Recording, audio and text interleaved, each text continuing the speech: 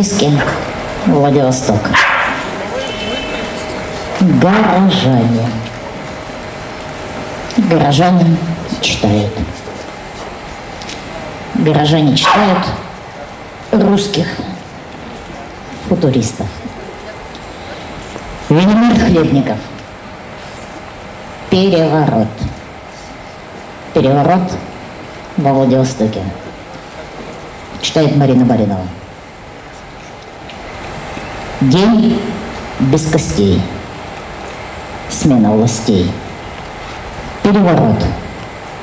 Линяют оборотни. Пешие толпы. Конные сотни. В глубинах ворот, в глубинах подворотни смуглый стоит на русский охотник. Его ружье листом железным блестит, как вечером болото, и на губах дыхание саки, и песня парней на Гасаке. Здесь было служебное место, а за волною морская невеста. У самурая смотрел около жбоем у Цусимы, как повесть мести, полный гневом, блестел. «Идите прочь!» — неслась пальба суровая речь, речь, прогремевшая в огне вам. Над городом взошел заморский меч.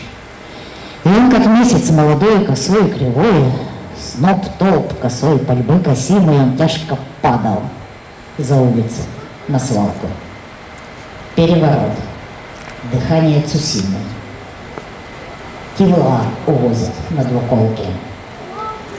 И алая в бегах торопится, течет, спешит рекой до залеза, железо и железо. Где зелень трешная, трава бывалая, и знамя алое, и ты, зеленый плащ пророка, тебя забыл долг Владивостока. Он променял для новых дел железную щетиной, посидел. Как листья рогоз покрытые ряды пехоты идут спокойно, молчаливо, как листьями рогоз покрытое болото, как листьями рогоз покрыто дно залива. На суд очей далекого залива проходит тесная пехота. Настойчив, меток, ком дроби беглых глаз, и город взят зарядом упорной сотни глаз, и пыль, взметенная снарядом, опять спокойно улеглась, и мертвых ищет водолаз. Потом встает в морских растениях, и видят все, он посидел и выпал снег на строгом бобрике. С народом морозов народы морей, боги мороза, на лыжи скорей, походка тверда самурая, праздника битвы уснувшего края. А волны пели, звеним, звеним, в припрыжку шашка шла за ним, как воробей скакала по камням мостовой и пищи искала, кто здесь живой. Вот песня. Меняйте смерть на беглеца. Два жребия пред вами. Кому поссориться случилось, бывало, Босая девчонка спешит за мальчишкой в припрыжку, босая кляня проказы юных лет. А камни звеня, так шашка волочилась вслед. Пускай белила дерзкий снег лица, На скулы выпали ему, разрез очей и темен, и жесток.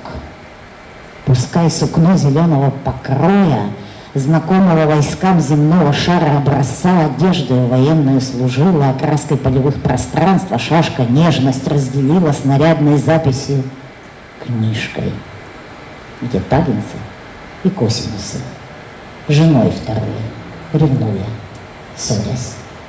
Но старый бог войны блеснул сквозь облака. Улиц Владивостока взглянул на воздух.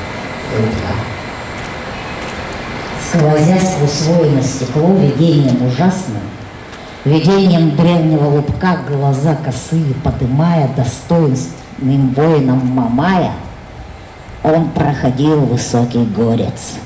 В нем просыпались старые ножа сны и дух войны, смертей чита, и пулеметов строгая. В броне из телячьих копыт он сошел с островного лупка — и червем шелковым шиты голубые одежды, его облака, где мертвые русы, старые улицы бусы, желтые бесы, пушки выстрелом босы, гопак пальбы по небу топал, полы для молний сотрясал широких досок синевы, полы небесной половицы. Смычок ходил — Амура и Невы. Огня сверкала полоса. И сладко ловить, и сладко ловиться Паре глаз чужого бога. Шум укрыл, улыбка дань. Там, где темная дорога, В сердце нежность и тревога — Быстрые уличные лица, сладко верить и молиться, темные улицы молиться, бьется шашка его о пол, умный черный глаз пепел. Море подняло белого выстрела бивень. Море подняло черного зарева хобот. Око косого падает ливень. Город пришельцем добыт. Глаз Косой глаз ручей льется, шумит и бежит, насмешливой улыбкой улыбайся. Глаз, привешенный седой головой китайца. В ночном лесу военных зарев он стукнул в дверь, рукой ударив. Повторный удар кулака. Это в дверь застучала опять. Дверь моряка, его боевая рука, ночной шум в облака и падал град на град. Не с голубиное яйцо, как полагается, а величиной в скорлупу умершей птицы рук, охотницы воздушные за слонами. Дедов смутной грозы, может быть, грезы, несущие слонят в своих лапах. Слоны исчезли, как зайцы, почуяв ее приближающийся запах. Они бежали табунами в страну Сибири и березы. Страшнее — не видели сов они. Желтым костром глаз очарованные совы слонов. Пришел немного пьяный веселый, горел, желтел огонь околыша. И кукла воин за ним, и кто-то шел еще. Что хочет он у русской няни? Стоит и дверь за ручку тянет. Моя игра, играя с тобою мало-мало, в эту пору ждать гостей? Кто он? Быть подпоркой двери нанят? Кто он в полночь? Только стук. Нет ответа, нет вестей. Деревцо вишневое, щебетавшее «да». Вишня в лучах золотого заката, Бог войны, а с ним беда. Стукнул в двери твоей хаты в старом городе — Никого нет. Город умер. И зачем? Бабочка голубая золотых лучах. Черный сосны в снегу. Черный сосны над морем. Черная птица сосны. Это ресницы. Белое солнце, белое зарево, черная месяца ноша. Это глаза. Золотая бабочка присела на гребень высокий золотого потопа, золотой волны – это лицо брызгами дерева. Золотая волна золотого потопа сотнями брызг закипела, набежала на кручу золотой пучины. Золотая бабочка тихо присела на ней отдохнуть. На гребень морей золотой, волны закипевшей. Это лицо.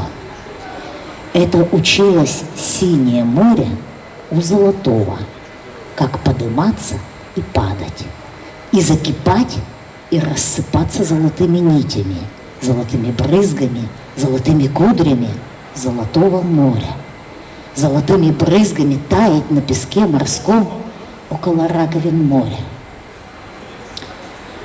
Косая бровь все понимала. Моя, играя, играя, мало-мало, Око косое бога войны старой избы окном покосилось. Спрятано в бровях лохматых белой мышью смотрела. Он замер за дверью, лучше котов. Прыжок на добычу сделать готов. Пела и билась железная шашка. Серебряной билась игрой. За дверью он дышит и замер, и смотрит косыми глазами. Моя тебя не знай, моя тебя видай, видай, моя с тобой играя мало-мало. Осада стен глухих речами, их двое, полузнакомые они, ведут беседу речью ломаной. Он знает слабые места ногого тела, ногого воина проломы. Он знает ямку живота, куда летит удар борца, прямою вилкой жестких пальцев могилы стук, без обиняка. Летит наскок наверняка, умеет гнуть быстрее соломы тела чужие. Он малый и тщедушный, ровесник в росте с малышами, своей добычей послушной играет телом великана, Одним лишь знанием тайн силач Супругим мячиком ловкач Играет телом великана. Умеет бросить на земь мясо, Чужой утес костей и мяс, Рассыпаться стеклом стакана В пространство за ушами, Двумя лишь пальцами уломясь. Его умел ногой без брони, Косой удар ребром ладони — ломая кости пополам, чужой костяк бросать на слом, как будто грохнувший утес. Ударом молнии коснувшись кадыка, приходом роковой подучей на землю падать учит его суровая рука. Или, сделав из руки рога, убийцы выколоть глаза, его проворно ослепить наскоком дикого быка и радость власти тихо пить. И пальцем тыл согнув богатыря, приказ ума у десятеря, чтоб тело грохнулся обвал и ноги Богу целовал, и пальцы хрупкие ломать, согнув за самые концы. Убийцу весть покорнее теленка или бросить на колени ниц чужое мясо, чужой утес — уже трусливый, точно пес.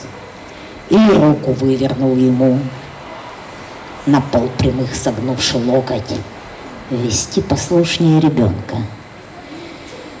Из-за уши всадив глубоко ногти, ухода разума позвать чуму. И на устах припадок пены, чтобы молитвою богам Землею мертвую легли к его ногам безумных сил беспоз... беспомощные члены. Или чужие, наклоня пальцы, победу длить и впредь, и дальше. В опасные места меж ребер он наносил удар недобер. И верный друг удачи нес сквозь борьбу решения итог, как верный ход задачи. Все, кроме ловкости — ничто. Читаю птиц, летевших косые очи, подымались кверху под тонкими бровями, как крылья эти брови, как крылья в часы бури, жестокие и злые, застывшие в полете. И красным цветом осени были сложены губы, небрежный процветок жестокой чертой различия.